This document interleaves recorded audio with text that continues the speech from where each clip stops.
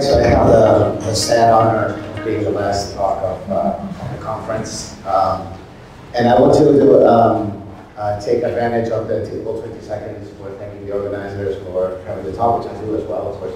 Um, to thank them both for uh, uh, the selection of the venue and the selection of the talks and the posters. I think has been uh, an excellent meeting. I personally have learned a lot uh, being an observational cosmologist. I took away a lot things and, and new acquaintances from this meeting. So uh, that being said, I'm uh, not sure from, um, let's see if this works. Uh, okay, so from Firmat Mali, which is a, a higher physics uh, institute, and today I'll be uh, devoting uh, some time to talk about galaxy clustering systematics in, in photometric survey, surveys. So I think galaxy clustering hasn't, by itself has not been the subject of a lot of talks, I think. So I think it's, uh, it fits into to include this. Um, by the way, I, what the, depiction, this is a depiction from the deep learning model of DALL-E of what galaxy clustering systematics look like. So it'd be really awesome if it looked like this, and we have to prove it. Anyway. So uh, this is just like a historical reminder of, um, um, of that uh, the clustering is a major component of uh, current cosmological analysis, both historically and currently. So um, it is very important, uh, it has been historically very important to have uh, accurate uh, measurements of, of, the, of the clustering of galaxies because it has been, in some sense, the first step towards uh, the current era of precision cosmology, because it would have provided this uh, first numerical assessment of the large-scale structure of the universe. So currently, the angular correlation function, which is uh, sort of an, uh, is uh, an estimate of that function, is can be used today to aid in the determination of more of precise cosmological precision cosmological parameters in combination, for instance, with here with CMB, as we said before, and also determining BAO. By itself, it doesn't have uh, much of uh, uh intrinsic uh, intrinsic power, uh, but um, given that it's a core pillar of the a core pillar of all these combination measurements, today what I wanted to talk about is essentially what are the observational effects that can modulate the signal and result in shifts in the S8 omega m parameter, and how do we correct for them? So um, just a, a, brief reminder, the angular correlation function is essentially an estimate of how uh, the projected cosmic web um, uh, or a measure of the aggregation of galaxies through a statistical estimate. Okay.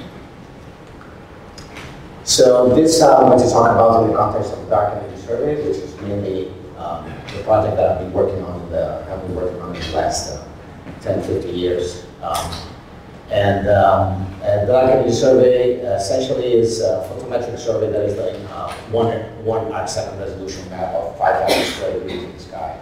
So we're taking pictures of the sky, and we're reaching depths of up to uh, magnitude I of 24. And in combination with this photometric bands uh, listed here from optical to, to infrared, this essentially, just to give you an idea, this essentially translates into a redshift of depth of about 1.2, 1.3.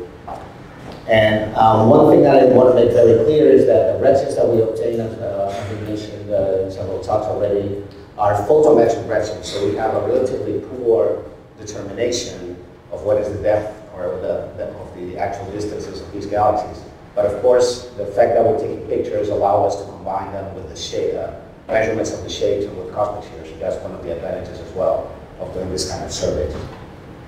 Um, uh, originally, the dark energy survey, well, its idea was to explore dark energy uses uh, different probes. By the way, watch out for the next uh, couple of months. Uh, we're going to uh, publish the first, or the final, I should say, Supernova 1A uh, cosmology results. I'm going to focus today on the combination of weak lensing and clustering.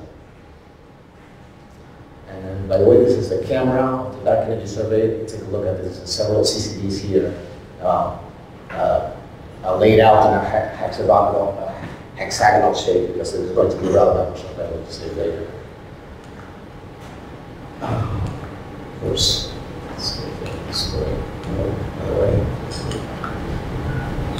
There's a bunch of today. It is uh, already uh, tired. Uh, can I advance with? Uh, All right, so uh, for a brief summary, um, Marika already told us about this uh, yesterday, um, uh, but uh, what we're going to do is, in addition to looking at weak lensing, so uh, looking at uh, the parameter inference by analyzing the coherent, distortions of the light, of the, of, the, shapes of the galaxies because of the foreground galaxy distribution. We want to add to the analysis the galaxy distribution itself, so looking, making estimates of how that foreground looks like by using tracers of that, uh, of that foreground. Um, and this has the additional, brings of course its own systematics, as I will comment now, but it has the, the benefit, it has the benefit of constraining the omega m sigma 8 uh, plane, has the benefit of constraining things um, a little bit tighter in the omega m plane, because clustering provides that. So this is like the, the final results. I'm starting to talk with, uh, with the results first. And essentially the, the idea is uh, year three, uh, our main conclusion was that its results are in some compatible, uh, there's some this statistical uh, priors, let's say, with the Planck inferred cosmological parameters. Um, modulo this, of course, is using uh, um, uh, tension. So, by the way, uh, just uh, brief reminder that these, all these catalogs of photos, these are available at this, at this, uh, this um, web page, and then DES year six we'll double the depth and introduce refinements in modeling the systematic treatments and um, publication will be the next year. All this uh, more or less you know, but that plot, I added another plot here, but maybe it's, uh, I'm not sure it's uh, uh, the, the one that is uh, most fair for the KiDS people. I, I think I did not. This, this one is from the HSC. And the KiDS' data here does not include the, the clustering, so it's actually much tighter than what is shown here. But essentially, I just wanted to highlight with this plot what is what what it, what all this is about. Of course, this is the 1.72 sigma uh, tension that, and here is the, the, are the main surveys on the, the latest results from the both HSC, KiDS 1000, and DES year three. So the current observational pictures, one is this high retro observations from Planck are consistent. But the three different surveys with different techniques show reported a slight decrease in discrepancy. There's a lot of literature statistical effects, and this might come from volume effects, as uh, the article is today, um, but I'm not going to get into that. But I wanted to mention that many astrophysical effects that we have been seeing today, uh, from the halo mass function, possibly from, from cosmic shear, from uh, um, uh, several intrinsic from intrinsic alignments, uh, from the nonlinear clustering, the clustering side. All these astrophysical effects can amount from 0.51 sigma. So what is the contribution of observational systematics uh, on clustering? And can they affect um, oh, okay. Can they affect the uh, uh, essentially uh, this? Uh, can they move around a little bit this this contours here? So how am I doing in time? So So I think I'm going to stand around here. Okay, so what we want to measure is this, as I mentioned at the beginning. Okay, so it's the, the estimate of the angular correlation function. This is uh, uh, the, the, theoretical um, the theoretical estimation of that what we use in, in, in real space. We saw before in, in, uh, in CL space uh, in, uh, in, the previous talk. But essentially, uh, the observational part that uh, can introduce the systematics comes, on the one hand, from the actual estimation from the data, that is, effects that remove or add clustering power, so that when we introduce uh, that in conjunction with this theoretical estimate and our likelihood is going to actually be biased into one side or the other in, the, in our final results. And in addition, in the theoretical estimate, we also have to assign um, a distribution of redshifts for those galaxies that we're considering their, uh, their correlation, their, we're estimating their correlation function.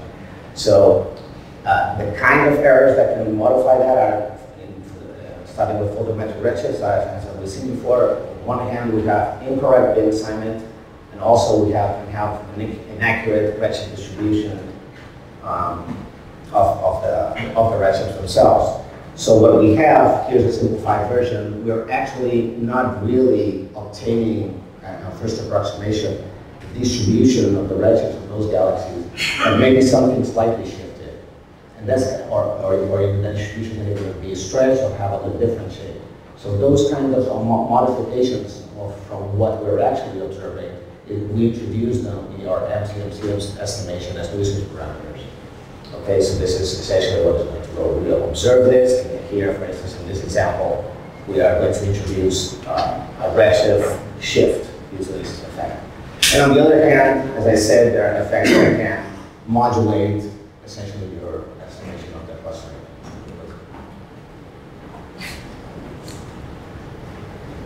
Okay, so so quickly, because I already mentioned this as well, um, one way that we can do this estimation is to use several approaches to the estimation of the NOZ. This is one example for a specific bin. So we can have estimates from spectroscopic samples, in the case of VIPERS, which, uh, which will be taken from the same sample that, uh, that we're um, doing the uh, spectra from a sample which is identical to the one that we're using for our cosmological experiments. And then we can use estimates from uh, photometric redshift flows, for instance, in CIEMAT. We developed, uh, Juan de Vicente uh, developed um, a code to, to, to uh, estimate using the colors and magnitudes of galaxies. And essentially, we cross-validate these distributions among them, and then uh, compare, for instance, with uh, using cross correlations with an external spectroscopic redshift sample. Uh, we can more or less correct or shift the, this distribution to provide the final, um, let's say, that the final contribution to this estimate over here at the top. There has been later uh, a few refinements of that measurement using a little bit more sophisticated techniques, which I don't, don't have time to go into, like the so-called SOMPZ, which is a machine learning method uh, that can. But I wanted I wanted to highlight that, for instance, in this little um, uh, increment in accuracy in our uh, distributions, we encounter already a few small shifts of the order of half half a signal. So already we, we have there um, uh, some contribution. Um, systematic contribution possibly. So, and, and in order to remove, excuse me, in order to remove the systematic effects on, on the clustering, um, we can, what we can do is, uh, you can imagine there can be plenty of observational effects that are throughout our survey, by the way, that's uh, the footprint of the survey in the sky, that can be modulating our signal, right? So this is the general way that we can, we can put that mathematically. Uh, it's, um, could be kind of simplifying because we're only adding linear effects. So the, the observational uh, distribution of galaxies that you can see there here actually will be made up of true galaxies, a distribution of true galaxies, plus a contribution from several maps that we can uh, priorly, uh, previously uh, map out, but can, that can be uh, having a contribution to that, uh, to that final observed um, galaxy distribution. so um, this, in terms of correlation functions, can be very easily uh, demonstrated by doing something like this. And we'll do, uh, we do cross correlations of the systematic maps that we uh, create previously in order to, to correct for this effect.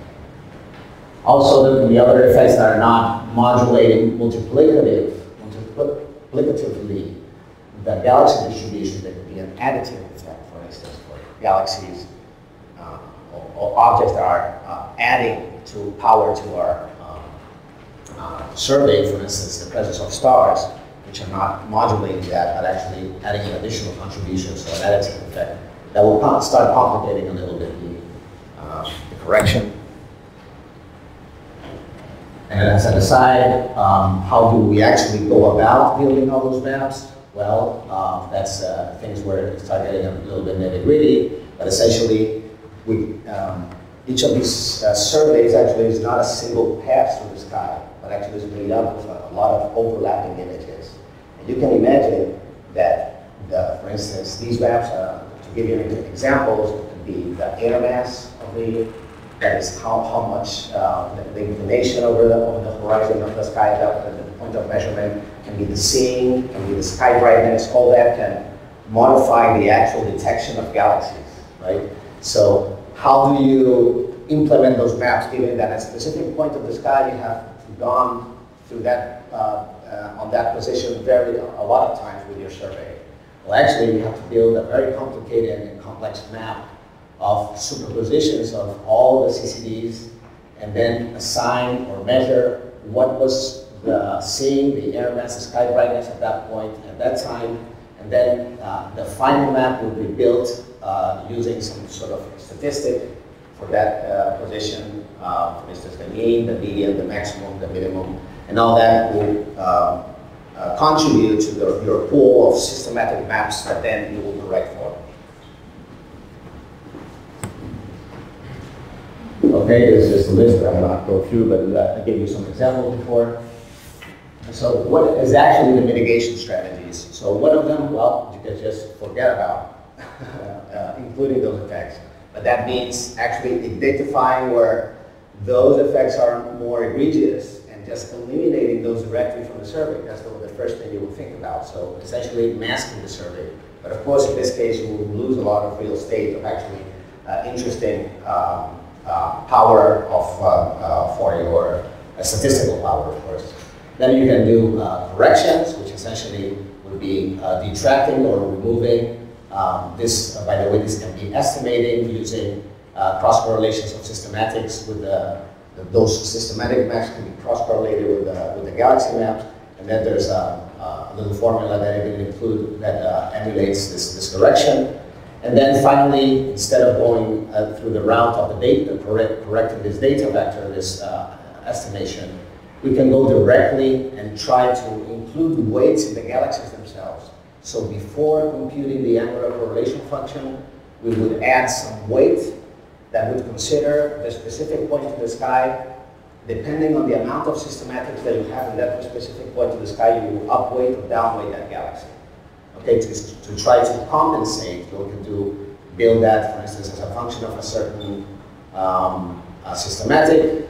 You can try to build what is the relationship of the, the galaxy density as a function of that systematic that doesn't have anything to do with density, right? So those weights, you can compute them from this sort of linear relationships. The, the original one is the red. And after applying the weights, you calculate against this, this relationship, you see that it's flat. And you obtain things like this, where the original measurement of the angular correlation function, this is already final real data from the DES.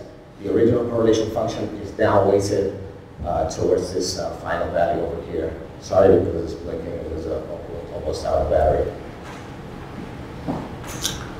Um, or, okay. Uh, yes, I just wanted to give you a, uh, okay, yes. Uh, this is, so the idea is that um, how, how would you go about um, selecting those maps? This is an iterative process, so first you would select the one that is the, has the most significant cross correlation with your observed signal. You would correct for that one. Uh, the others will have also some sort of uh, significance. And then uh, everything, this is a, was an awesome movie, a lot of uh, animation. Um, and, and every, all these correlations will actually go down, but there will still be some uh, other correlations uh, that will be over that are preset thresholds. Uh, recalculate the weights for that uh, specific map. So as you see, it's an iterative process that eventually will lead to all the galaxy, I'm sorry, all the maps being under that, the threshold of significance that we, we said previously.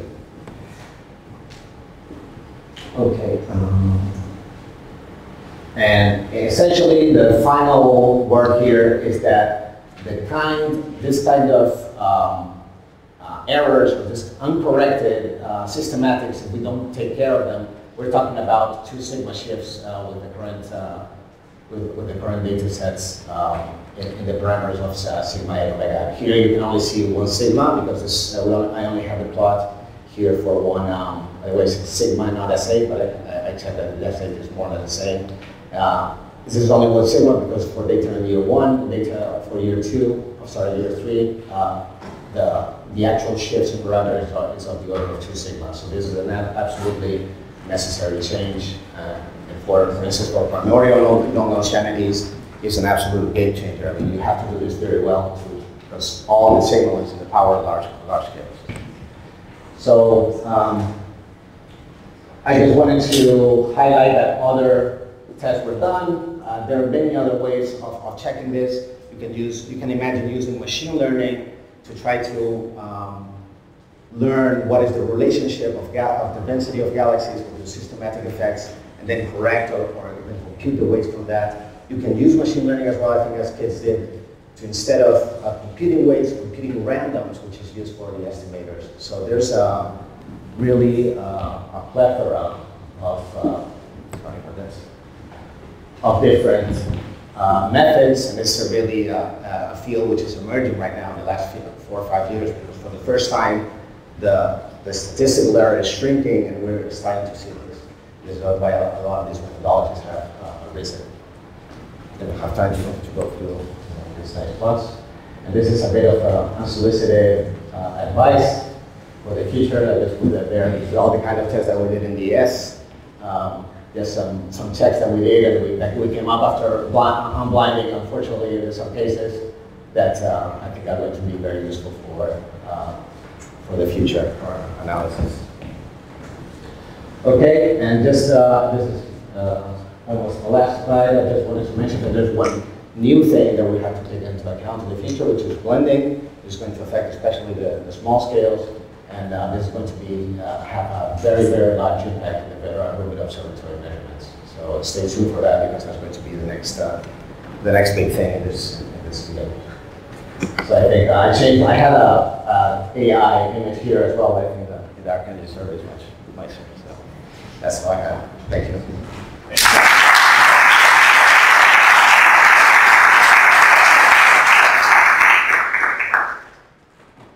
Questions or comments? Thank you, Marcel.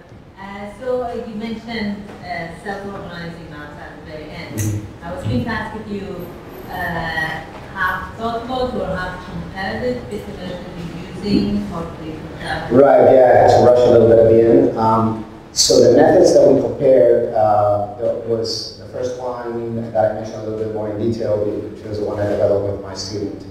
Um, and it was the, the one in the, the paper uh, for DES. But then uh, there's um, two methods that we compared. One is a neural network one that I think um, was spearheaded by people in WASP or SDSS. There's a machine learning one, and another one uh, developed by Noah Weaverdyck, uh, which is a different methodology that takes into account a few um, other things that, uh, like overcorrections and things like that that we talked about. So in particular, the method of uh, using SOMs is, uh, I think it came, uh, we, we became aware of it a little bit too late. Now we have, but we have now, there's a, a specific, like a task force uh, trying to implement all of those and, and checking those for the Rubin Observatory eventually uh, to make like a side-by-side comparison of the four or five major methods. So definitely something on our radar. Yeah, uh, I'm saying this because what I've seen from the right. is that it tends to overcorrect for large scales. I don't know if you've seen this as well. Uh, you mean for the, for the one that we used? Yeah. Yes, well, um, so we did a lot of checking. The, the thing is, we, um, we did a lot of checking with simulations and with known systematics injected, injected in those, in those simulations. And those simulations, in principle, uh, did not show a major uh, correction. Um, also, with this cross-check with the other methods, um, we might have seen a little bit of, a, of, of, of a deviation, uh, but I think um, for what we wanted to, to do, uh, we did not consider but that's why I think that we're not defaulting again for the next uh, version. We're actually uh, promoting the other methods as uh, you know at the same level to, to have a more robust measurement we realize that as well. Any other comments, questions? If not, let's thank Nancy again.